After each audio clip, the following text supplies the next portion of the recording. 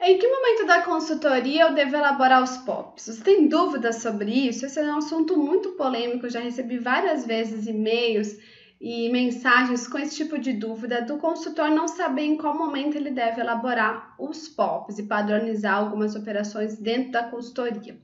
Essa é a nossa série POPs Procedimentos Operacionais Padronizados. Temos vários vídeos tirando dúvidas sobre esse documento, sua elaboração, seu funcionamento dentro da consultoria, dentro do serviço de alimentação. Então fique atento à nossa série e vem comigo nesse vídeo para ver minha resposta sobre essa dúvida.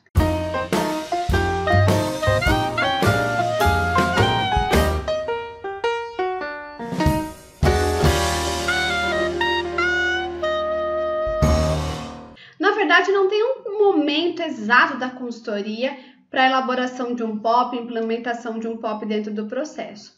Na verdade, você tem que analisar é o que você está adequando naquele momento, se cabe um POP ali ou não.